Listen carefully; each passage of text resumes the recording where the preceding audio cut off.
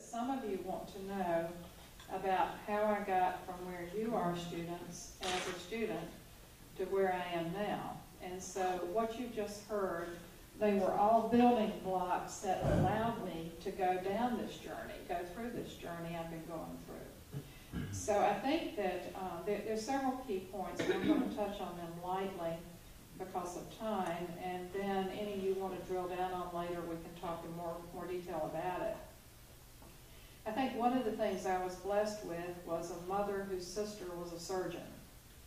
So from age as early as I can remember, hearing that Jan was going to become a surgeon uh, was really important.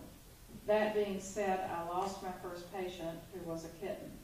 Uh, so that's when I detoured from surgeon. um, but that's that's another story I won't bore you with right now. Then then there are lessons in life you learn what you don't want to do. I bet mm-hmm. some of you had that. So at age 13, I was sent out to work on a tobacco farm in North Carolina and to do what's called barning tobacco. You would hang the tobacco in the barn.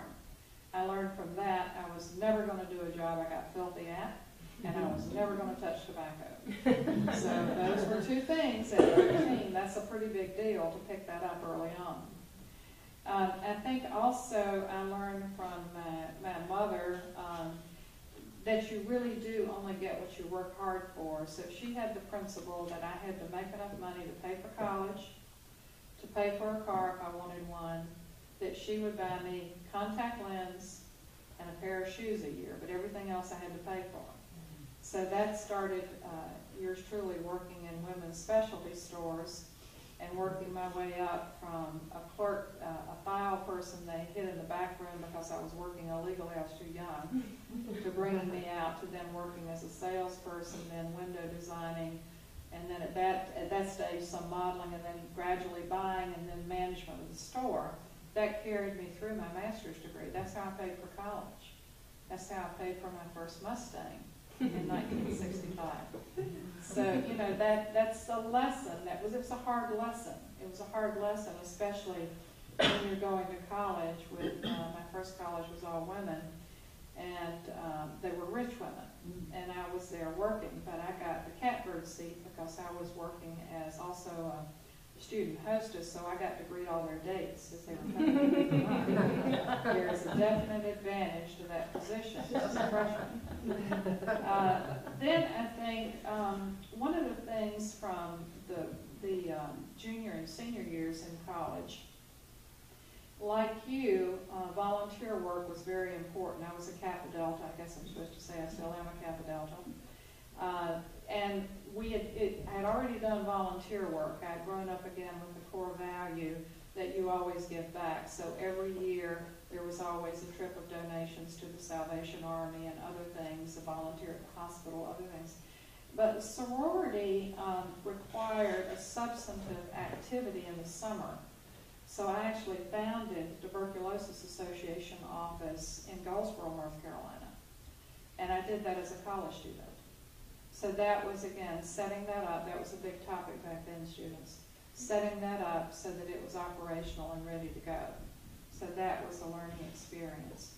In teaching high school English, and, and teaching, Peter, teaching was easy. Being a K through 12 counselor was, I got shot at. Uh, you know, you, you, you learn these lessons, but what I learned as a school counselor, um, we had two children who were first grade and third grade who were coming to school with impetigo. And the younger one was also, he had school phobia. So the social worker and I decided we'd go out to the home to visit the mother, right? Seems reasonable, uh-huh. Got to the front door and the mother's boyfriend was standing on the front porch and fired a shotgun at us. Fortunately, it went over our heads. Well, we learned later why the kids had impetigo and school phobia. That's another long story. But I decided it might be better to go into another profession at that point. uh, high school teacher, what my students taught me, I was teaching high school senior English, and I was teaching Shakespeare, and I had a slow class right after lunch. I had an advanced class first thing in the morning, and so I was trying to consider how I could bring alive Shakespeare for the slower class. So I was doing some things with the faster class, and the ones after lunch had found out about it, and they said, well, why aren't you doing that with us? Hello. So I immediately remedied that, and they got more from that class probably than the smarter class got. But that was a, a lesson learned in that way too. Um, when, um, I've talked with you about Cheryl's major role in terms of my background, but there was another incident here that was very in- instrumental. When I was at the dissertation level, uh, how many of you are at the dissertation level now? Any of you? Well, when I got there, I had a committee. Uh, it was headed by a very famous person in vocational development, uh, David Tiedeman from Harvard, who was here. And I was doing um, a front-end study on the psychological impact of televised cartoons on children. There was not research on that at that point, and David had orchestrated a career for me with Children's Television Network. So that's where I was headed. Then I leave on vacation and come back, and my entire committee had left the university. And uh, Dr. Joyce Check was the new head of the program. And she said, well, your committee's left, so you have Nick Gemstead as your new major professor. He knows nothing about, nor do any of our faculty know anything about what you were doing. So you have to pick a new topic and start over. So Nick, being a brand new professor, only knew paraprofessional training from a research perspective of chairing a dissertation. So that was the detour that put me into higher ed. Uh, so the study then was, a new study was started, a year-long study, looking at paraprofessional training of residence assistants at Florida State, Florida, and South Florida. But that then led to changing, it, it really made the case that was used by ACPA and ACUHO to change the training for resident hall assistants. So it was the case that acknowledged, yes, they do counseling, and so you might as well train them because that's how it has to be. So there was that, that detour.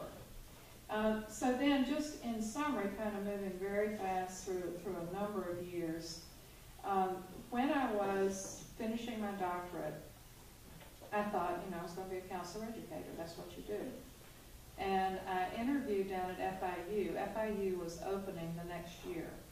So Chuck Perry, a 28-year-old president, was putting together his team, and I went down and interviewed with Chuck, a dy- dynamic guy, and he he offered me a position there as part of the founding administration of FIU.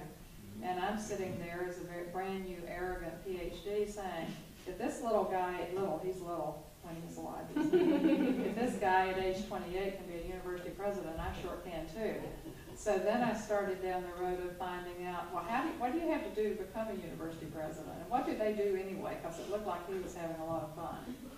So then I found out you got to be a full professor with tenure, you got to be a dean, a department chair, you got to be a provost, you got to do all these things. I've written about it, I call it the route of least resistance. There's other ways to get there, but that's the route of least resistance.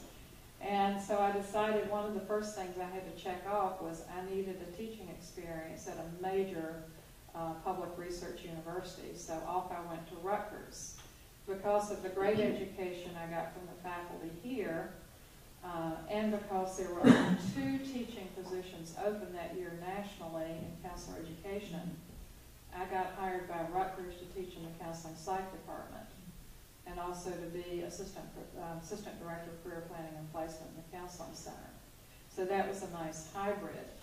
And then again, again, unleashing entrepreneurism, we needed paraprofessionals. Guess what? The dissertation was just on. So build a group of a thousand paraprofessionals working all of the Rutgers campuses. Uh, and that was something that carried on. So that was a model where doctoral students supervised masters, masters, undergraduates, and we developed the model that way, and that worked out well. And so then in going to the University of Cincinnati, um, Ohio State came after me, Cincinnati came after me, and Cincinnati was the, the university of choice because they were the most entrepreneurial. They basically said, if you'll come to us, we'll build your own research lab, you can be head of the program, you'll be associate professor with tenure, uh, you will have an administrative sabbatical and an academic sabbatical guaranteed. And by the way, Warren Bennis is president.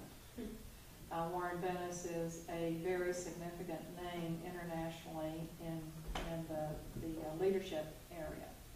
So went there, and then Warren, as a mentor, unleashed opportunities in the Organizational Behavior Teaching Society for me. Along that way, they had also guaranteed me some postdoctoral work in Tavistock group process. So they sent me to England for that training in addition, which was wonderful. That's played a big role.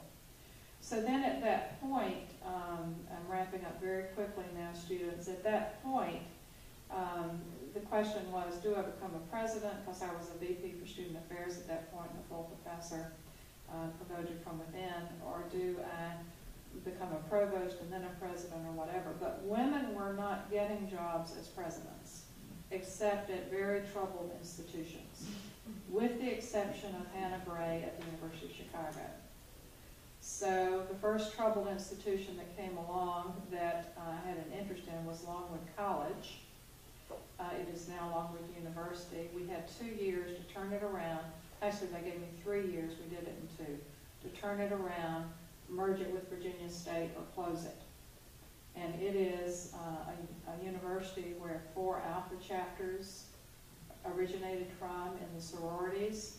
It is a university that has taught probably every student coming through a school in Virginia has been taught by a Longwood grad.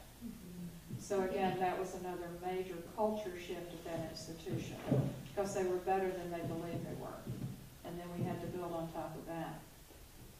And then the second presidency was another major turnaround, where it was either close it or turn it around quickly, but with heavy-duty union trouble in addition. So that was another type of, of opportunity. And then you might say, well, why search? Well, this is where it comes full circle, students. One of my doctoral students at Rutgers graduated and started her own search firm. And she's been a friend of mine forever since then. And she said, well, you should go into search. You know group process, you know leadership development, you know career development, you know higher ed. This, you can do all this. but It brings everything together. So I said, well, why not? And about that time, Heidrick Struggles, which was a leading global firm in the corporate world, came after me to be a consultant with them as a VP and a partner and a director. So I went with them. Um, that led then to starting my own firm, and I decided to start that with Betty Asher, who had been a doctoral student of mine at Cincinnati, full circle students. So look carefully at your faculty, you never know when it may come back around to you. Um, but working with her off and on since the seventies, and in 80, 90, what, what was it? I guess it was uh, 93. No, it was 2000 and 2003. We decided we'd start our own firm. A week after telling my firm I was leaving to start my own firm, I was diagnosed with cancer. So then, as you can imagine, all the healthcare questions, what if, and all this stuff. Um, and Betty and I, Betty Asher, and I decided we were going to go forward anyway.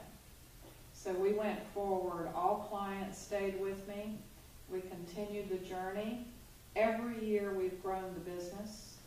Uh, every year we've increased the profile of repeat clients. We've worked as far away as Japan and Hong Kong and Australia.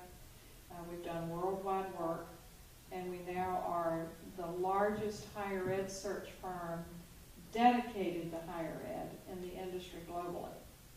And we have people working all over the country, but a major presence in the Metro DC area, and of course, located in Destin, Florida. So that brings us full circle. So let